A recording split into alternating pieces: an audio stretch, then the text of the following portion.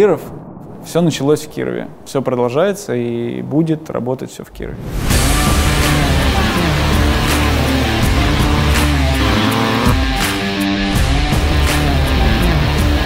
Я люблю ралли.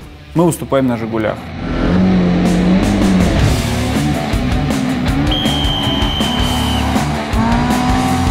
Ралли – это соревнование на время.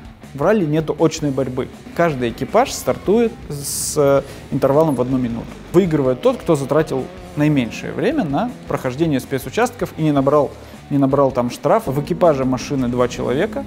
Это пилот и штурман. Перед гонкой мы всегда трассу проезжаем два раза, пишем стенограмму. Когда там левый два, там левый два через перегиб 400, там... На левый 3 минус, на правый 2 короткий. Право один минус через зону, 220. Мы один раз, раз проезжаем трассу, я диктую, он это все записывает в стенограмму. Во время второго прохода уже я диктую ему то, что было записано, может носить какие-то правки в эту стенограмму, но во время гонки уже, собственно говоря, мы занимаемся своими прямыми обязанностями. Право один короткий, на левый два. 50, правый один. Ехать быстро по глазам это невозможно. Глаза тебе дают э, такую постфактум информацию. Если ты это увидел, значит это уже произошло.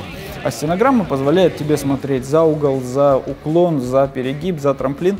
Самый кайф и для пилота, и для штурмана, когда штурман диктует под ногу. То есть, когда пилот не задумывается о том, а что же ждет его дальше, он тут же получает эту информацию. То есть вот вовремя, ни раньше, ни позже. По большому счету ты даешь команду, и она тут же должна исполняться. Ты сам как бы, отчасти управляешь автомобилем, то есть ну, в виртуальном смысле. У нас команда подобралась, ну, наш коллектив маленький, но очень-очень сплоченный. Наша команда — это я, мой штурман Андрей Клещев, наш механик Андрей Чупраков, и это наши «Жигули», это наша актуальная машина, которая 10 лет уже с нами, которая много-много нам всего подарила. Мне 32, из них 20 лет, я вот в этой теме и э, играл в компьютер, учился хорошо. Ну, просто отец посмотрел, что я делаю, и говорит, слушай, ты, наверное, в картинг пойдешь. И все, жизнь не будет прежней. Картинг, ледовые гонки, снегоходы. И в 2009 году я понял, что, наверное, ралли. Ралли надо пробовать, ралли мое, ралли интересно, ралли сложно, ралли не... Ну, так немного непостижимо казалось с берега. История моя начинается, наверное, еще с конца 80-х, когда я начал интересоваться автомобильным спортом. То есть у меня в городе Жуковске, в котором я жил, проводили соревнования по автомобильному кроссу, и меня это очень заинтересовало. Я еще в школьные времена начал интересоваться автомобильным спортом. Начал ездить по всей округе сначала, по Подмосковью, потом в соседние регионы. Я купил первые «Жигули», и она не проехала ни одной гонки. У нас сразу же все сломалось, все, все отрыгнуло. Но за эту маленькую дистанцию так понравилось, было так круто, что я понял, ничего я больше не хочу, никаких других гонок, никаких других соревнований, дисциплин. И мы решили ворваться плотно. Идея создания экипажа возникла, можно сказать, достаточно случайно. Клим искал себе нового штурмана на э, выступление за границей. И я реально его нашел по объявлению. Собираюсь на гонки в Литву, на Кубок Ладова ФТС. Вот, приглашают хорошие друзья, есть возможность поехать штурманом. Штурмана нет, пожалуйста, помогите. Я был одним из откликнувшихся на его, на его зов. На удивление много было. Много реакций, и Андрей Русланович вроде давай попробуем.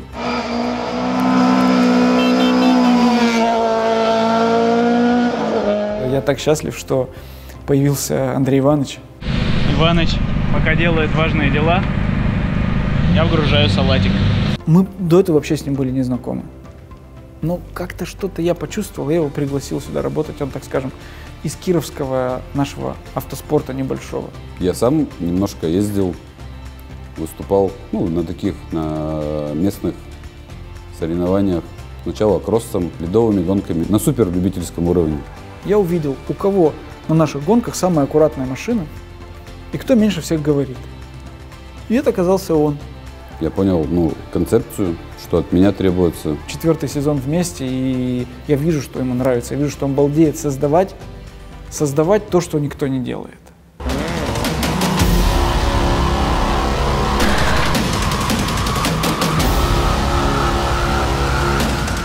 В больших командах ездят там ездят такие ребята, поздороваться нельзя будет, потому что будет ну, два кольца охраны. И ездят такие ребята, которые вот, ну, буквально ночь делают машину в гараже, и, а с утра побеждают. И это все, эти все люди вместе. Да, там разные классы, но э, участвуя в одном соревновании, они условно, они равны. Миссия. Огурцы от Иваныча. За углом там Сольберг. Сейчас пойдем ему подарим. Лично мое знакомство с Климом было относительно давно. К нам заходил все время какой-то жизнераз... жизнерадостный человек и дарил квас. Мы простые ребята, и мы будем ими оставаться, потому что, оставаясь маленькой командой, нам очень здорово и удобно, мы можем себе позволить чуть больше. И поэтому мы мобильные, если нам приходит сейчас там какое-нибудь предложение взять и там приглашение сгонять на гонку, там как вот было в том году, мы ездили в Германию, мы прыгаем и едем.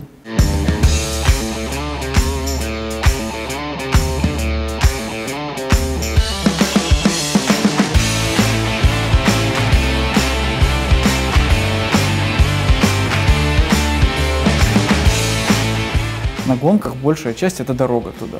У нас большая страна. Два дня туда, два дня обратно и, грубо говоря, три с половиной дня там. Э, У меня пикапчик, мы цепляем за него прицеп, в котором едет машина. Вот и все. Садимся, включаем книжку хорошую. Все, на границе выключаем, приехали. Навигатор, конечно, нас завел туда, говорит, вот нам надо по этой дороге ехать туда, все, вы там приедете, ваш Альмхульт. Тут все приватное, все, нельзя ехать. Сейчас развернемся, поедем дальше. В аренду можно взять любую машину, и ты представь человека, который вот этим всем вирусом, он инфицирован, вот как мы. Он любит ралли. И он берет здесь и сейчас, платит деньги команде, которая вывозит его на соревнования, какие он хочет. Он туда прилетает на самолете, все расставлено, механики, машина готова, прилетает на тесты, ознакомление, гонка, улетает. Просто такие люди, их достаточно много. Для них это единственно возможный формат.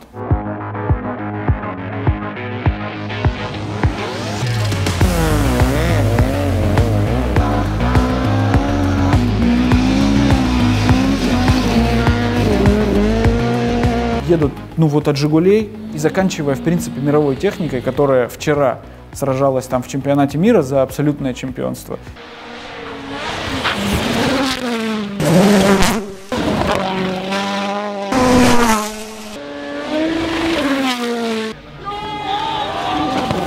Там трудится страшное количество а, аналитиков, ученых, которые всем этим занимаются, которые, э, которые создают решения, которые где-то когда-то, ну, они выйдут ну, на свободный рынок. WRC это только мировой чемпионат. R5 можно играть национальные чемпионаты и как бы так ниже, ниже, ниже, ниже, заканчивая моноприводными маленькими машинами. Есть машины национальные. Это, так скажем, ну вот пример. Ты можешь построить автомобиль из чего угодно. А С нами едут там цивики, с нами едут Ниссаны, Санни, с нами едет много Жигулей, Калины, восьмерки всякие. Я не знаю, почему я выбрал Жигули. Вот, ну, не, не знаю, мне никто не приказал, никто мне не заставил. Так происходит, что это такой неосознанный выбор. Ты, если выбираешь болеть за Динамо или за Спартак, ты почему-то выбрал за Динамо, и все, ты всю жизнь за Динамо. Когда 10 лет назад выбирал автомобиль, мы могли начать строить любой. Но я понял, точно Жигули, точно задний привод. И чем дальше мы заходим в этом деле, чем дальше мы выступаем на Жигулях, я тем больше понимаю, тем больше уверен в том, что тогда давно мы сделали правильный выбор. На Жигулях на самом деле очень здорово. Чем дальше мы забираемся, тем больше я понимаю, что это так круто. Фиесты или 208 и пыжи, их много, их и там много, потому что это международная машина, они одинаковые. А когда мы приезжаем в Швецию, и знаешь, люди подходят, люди не смотрят на международную технику, подходят, говорят, вы что, реально русские, да. И вы приехали сюда, да, это Жигули, да, я там помню, у меня там дедушка Свен ездил на такой, у кого-то была у соседей. Вы что, реально приехали, да. И вот это круто, понимаешь, это эмоционально очень здорово, потому что быть не таким, это классно. И всегда очень много народу, все так интересуются русскими этими на Жигулях. И вон Андрей Русланович вообще больше, чем на трассе говорит в сервис-парке. С разными иностранцами. в Германии, когда мы были. Для них мы это какая-то, как- ты знаешь, мы с другой планеты прилетели. Они спрашивают, вы что, 3000 с лишним проехали сюда? Да. Вы вообще, ну, с ума сошли. А вы где живете? Да там, ну, при Урале. Вы реально приехали.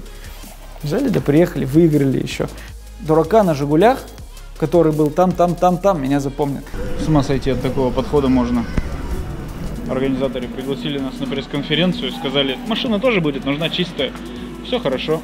Приехали, торговый центр, открыли дверь, заезжайте. Видали?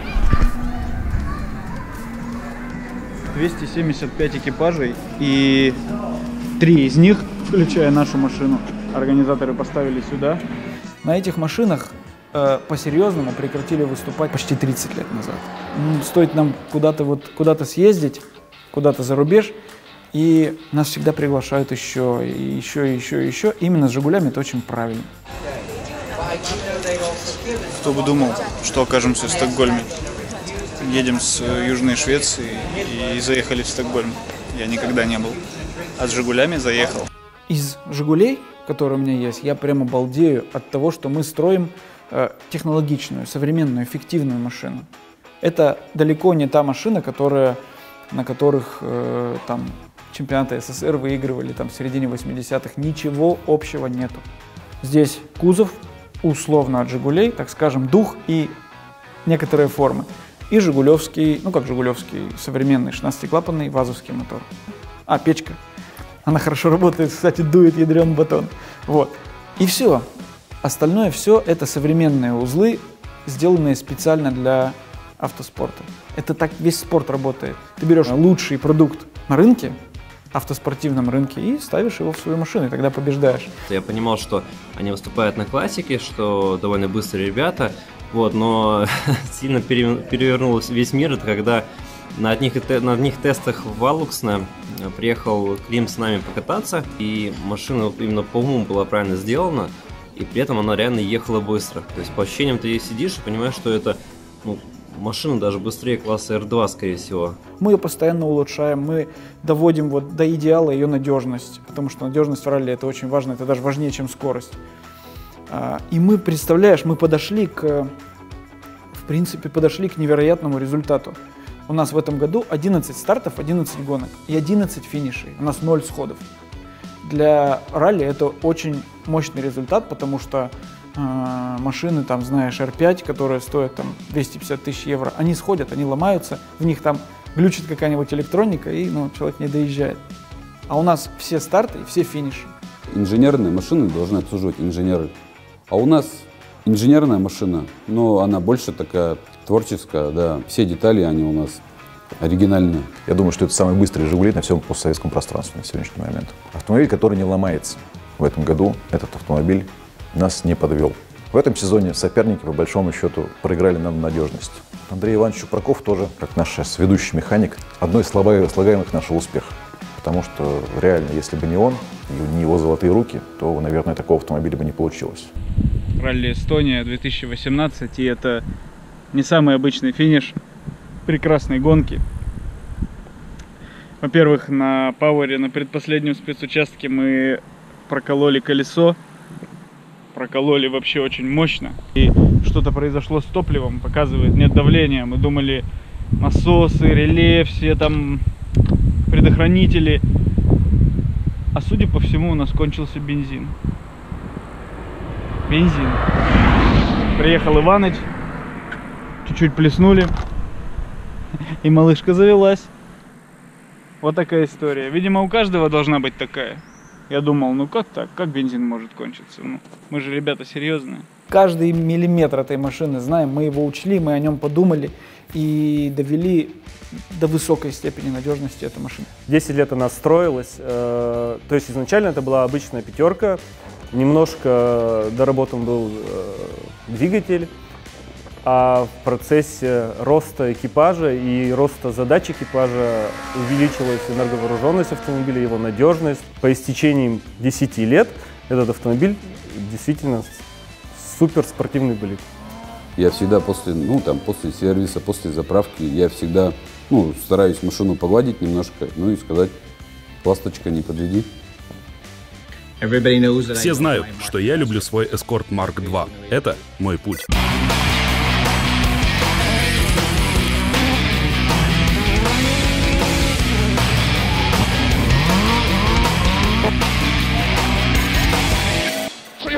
200 up here now, fast three left shiny over this junction, go 300, keep the push on, go 300 out of it, 300 up the middle there now. Но есть одна вещь, которая еще безумнее, чем ирландец на эскорте.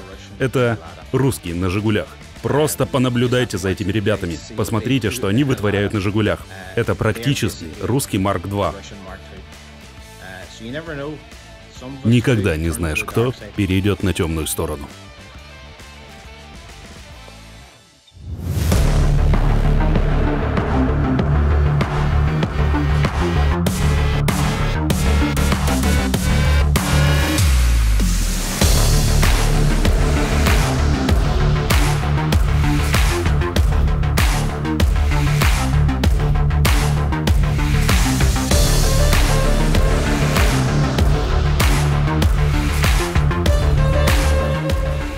После того, как с Андреем Руслановичем поехали одну, поехали вторую гонку, мы первую съездили в Литве, потом поехали в Эстонию э, один раз. Потом мы поняли, что это сложно и это очень интересно. Каждый следующий сезон, он у нас такой трудовой. То есть трудно, нас реально ставят на место. Если где-то в России, там я привык, что мы едем на, там, на кубковую гонку, тут выигрываем, тут там, ну то есть тройки регулярно. А туда приезжаем, первый раз в Эстонию приехали, ошибок не делаем, все отлично, седьмые. И мы первый раз приехали в Эстонию, там, по-моему, пятый или шестой спецучасток мы перевернулись. Это, наверное, самая большая моя штурманская ошибка в жизни, потому что вот мы приехали на ралли Сарема 2014 года, на эстонскую гонку, на самую крутую, которая собирает по 130 там, и больше экипажей на старте. И во второй день я слишком поздно зачитал очередную позицию в стенограмме. То есть я зачитал стена, эту позицию тогда, когда мы практически уже в эту позицию приехали. А там был достаточно крутой поворот с разворотом. Соответственно, в общем, в этот поворот мы уже никак не попадали. Из-за этого мы перевернулись.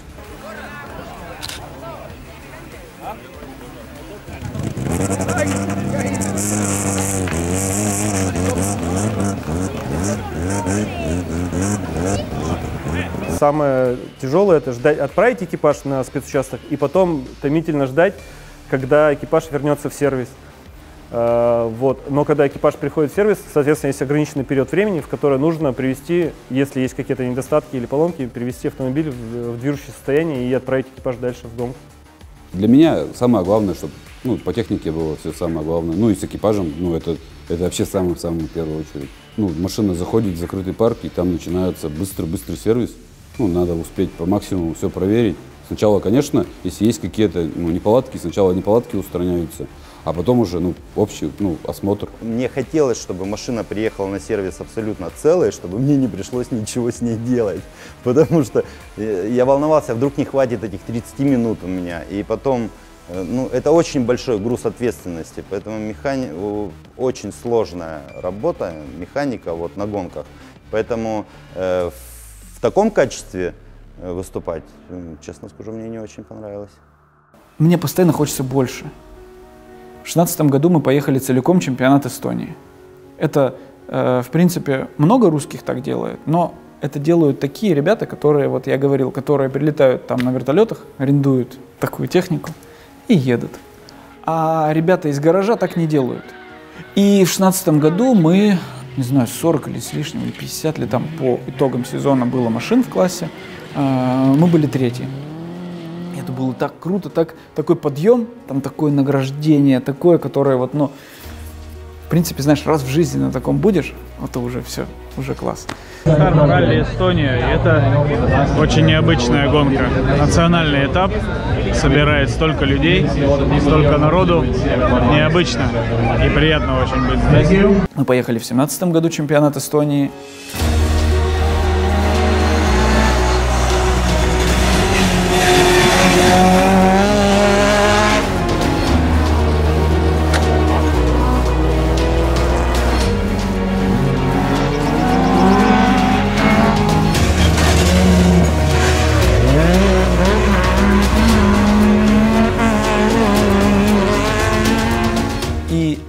Мы его выиграли. Мы чемпионы Эстонии 17 года. А давай еще. А давай. 18 год.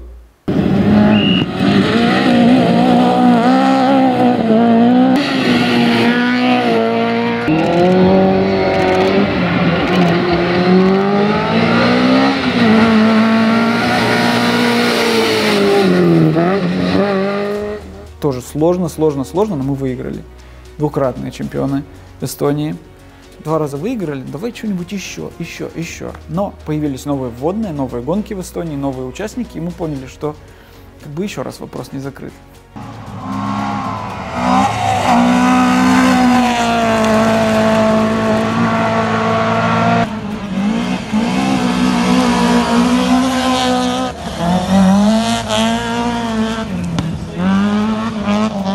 Мы 19 год, этот год мы снова выиграли. Э, Тоже участников было достаточно много. То есть мы получили сейчас, я, Андрей Русланович, эта машина, мы трехкратные чемпионы Эстонии. Эти вот там титулы, вся вот эта, там, не знаю, кубки награждения, на самом деле ничего совершенно не значит. Это все, ну, остань, ну, остаются эмоции.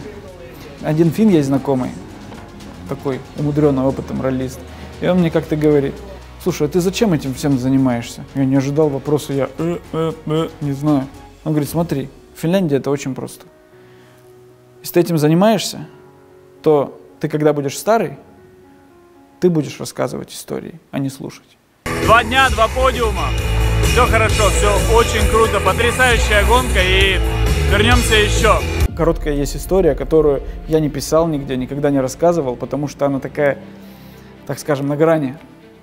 А, Это финал чемпионата Эстонии 2017 года. Это ралли Сарема 2017 года. Самая тяжелая была гонка, опять же, в моей жизни, в нашей с Андреем Руслановичем карьере. Неделю перед гонкой лили дожди. Во время гонки лил дождь. Все в ямах, все в такой грязи. То есть пробитые колеса, раскуроченные подвески. Там, то есть в каждом повороте там стояло там, по машине, может быть и по две. Едешь там за секцию, три колеса, три колеса пробиваешь. Обычно берешь одну запаску или даже ноль запасок на Сареме, да, а тут просто. Ну, если бы не наши доблестные механики, которые нас спасли в тот момент, быстренько метнулись из сервисного парка, привезли нам еще одну запаску. Это против правил. Но на правила по этой гонке, по-моему, уже никто не, не обращал никакого внимания. Главное было выжить. Мы думали, что как бы план максимум мы можем стать вторыми в чемпионате Эстонии. Вот по итогам этой гонки это финал. А, Но, тем не менее, танчик пер.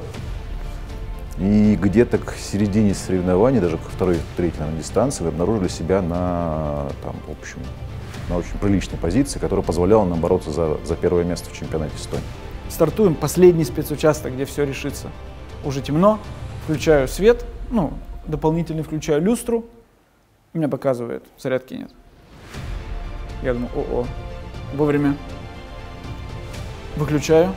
Ну, для того, чтобы снизить нагрузку, это все. Едем вот, понимаешь, едем в полную силу, как в последний раз, мама, я клянусь.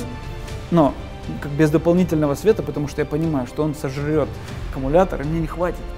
Мне не хватит доехать. Финишируем доп, считаем все, смотрим время, мы выиграли. После этого нам предстоял еще 50-километровый перегон до финиша. Ну, мы выиграли, но гонка заканчивается не здесь, а через 50 километров. Я вырубаю весь свет, вообще весь, темно, и вот сколько там она едет, там, не знаю, 150 по, ну вот по острову, а много зрителей возвращается, и я еду, понимаю, то есть чем я дальше, ну, затащу машину, тем мы ближе окажемся к финишу. Напряжение в сети падало, падало, падало, падало, в конце концов скатилось до нуля. В общем, 20 километров там остается до этого, и она встает. Мы чемпионы Эстонии, но там, здесь, и я вижу один там соперник, второй, третий проехал. Как? Неужели здесь сейчас все кончится? Мы тормозим всех. Клим послал меня тормозить все попутные автомобили. Просто вот поток едет, всех тормозим. Ребят, у кого? Как крокодилы, аккумулятор, хоть что-нибудь. И на наше счастье остановился человек, который когда-то занимался ралли, Женя Дмитриев. Огромное ему спасибо. Мы попросили у него аккумулятор. Я говорю, ребят, я сейчас возьму. Мне надо. Мне нужнее, чем вам. У меня с собой ключи, а там же новая машина, все пластиковое. Это сломал, все выкидываю, достаю аккумулятор, я говорю, не глуши только тачку свою, потому что ну не уедете отсюда. Смотрят такие, что за фигня, а мы все грязные, все как этот. Я снимаю у него аккумулятор, ставлю к себе, мы прыгаем в тачку, такая толпа нас толкает, я там третью передачу, она заводится. Еле-еле все-таки доехали до финишного подиума. Я заезжаю и награждает Ари Ватанин.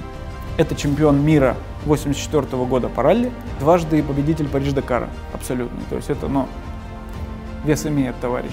Он награждает, а я заезжаю, все машину глушат, он же говорит, я не глушу, он стоит, работает. Он мне говорит, заглуши. Я говорю, нет, заглуши. Я говорю, нет, глуши, не слышно. Я говорю, нет, он не заведется. А, нормально, понимаю все. Ролист ролиста понимает.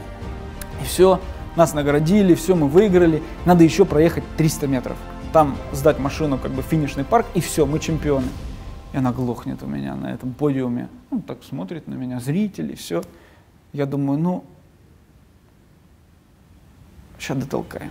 То есть последние там 50 или там сколько-то, 100 метров мы закатывали машину на руках.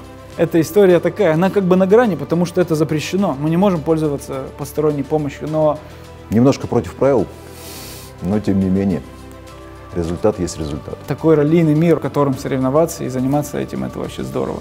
В большинстве случаев всегда ну, там как одна большая семья. Все помогают всем, чем могут. Надо инструменты, надо там жидкости, надо своими силами. Ну там это, наверное, самое-самое то, что запоминается. Там нет такого, что ты конкурент. Большая часть вот всей этой истории, это, так скажем, наша поддержка. Причем поддержка, самое главное, самое первое, это семья. Я так счастлив, что вот у меня это все складывается, потому что это ведь трудно. Трудно ведь посмотреть на себя с другой стороны. Я рад, что вот у меня жена, у меня дочки, они это дело все нормально понимают, поддерживают, хотя, когда они меня взяли, я уже такой был. И нашим семьям, которые терпят наши такие увлечения, которые, с одной стороны, отнимают достаточно много времени, с другой стороны, в общем, не такие уж и безопасные. Спасибо вам, дорогие мои, что вы разделяете наше, наше увлечение и поддерживаете нас во всем. Даже сейчас суббота. Объясни семье, где мы в субботу сидим, снимаем. Они на даче сидят, а мы снимаем. И я не могу сказать, что у нас есть спонсоры. Спонсор это такое коммерческое слово. У меня есть друзья, которым, которым это все по приколу.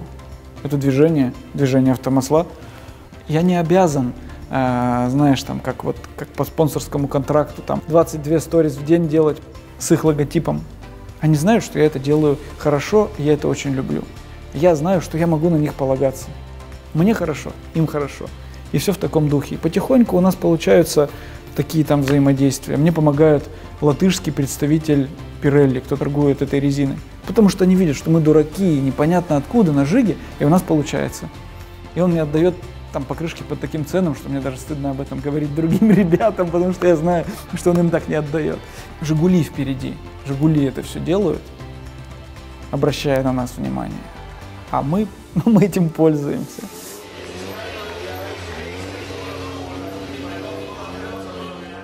Но мне нравится строить, мне нравится инженерия, мне нравится из «Жигулей» создавать э, ну, вот идеальные «Жигули», какие-то вот, которые в воздухе витают. Я хочу создать идеальные, самые лучшие, какие смогу себе позволить.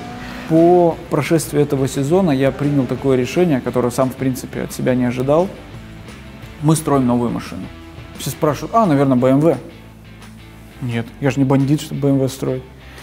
Мы решили построить новые «Жигули», это будет пятерка «Жигулей» белого цвета, как это. Вот это, так скажем, база.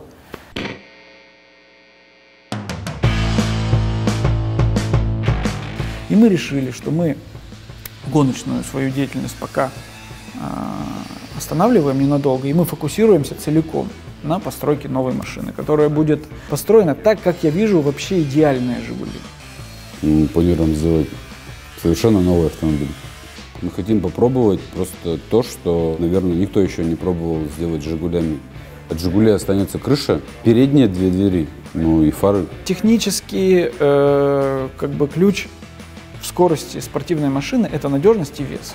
Надежность у нас есть, но эта машина в рамках класса, она очень тяжелая. Э, Нам никто не может подсказать, будет ли это лучше, будет ли это хуже. Раньше мы ездили, мост от Volvo стоял, а сейчас будет от BMW. Специализированное спортивное раллийное решение, вон эта подвеска лежит. Задницу от BMW я купил на разборке в хорошем состоянии. Мы задницу от BMW интегрируем, женим с жигулевским кузовом, и это достаточно сложно. Это очень просто ошибиться где-нибудь на 2 мм в геометрии, и у тебя машина будет потом кривая, ничего с этим не сделаешь. Вот, и мы сейчас этим занимаемся, это сложно, это необычно.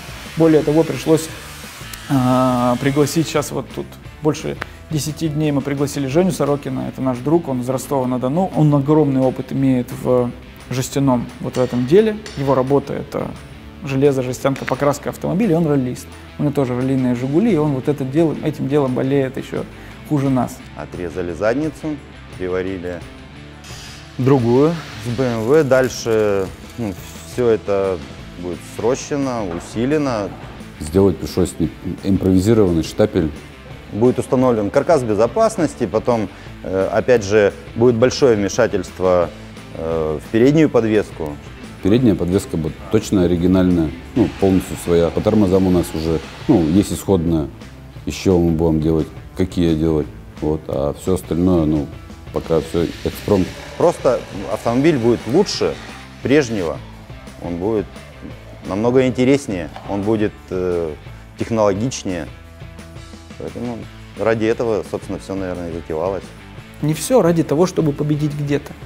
Это огромный процесс, даже постройка вот эта, она приносит мне огромное удовольствие. Люблю ездить, ну, люблю строить, мне нравится. У меня в кабинете, знаешь, лежат какие-нибудь документы, а настольная книжечка, я там раз в день читаю там какие-нибудь английские книги там по инженерии, как построить там подвеску, как сделать там углы правильные. Я там это все читаю, мне нравится, я балдею от этого. Мы не покупаем решение, мы не покупаем машину, на которой можно побеждать. Мы, мне кажется, мы ее создаем.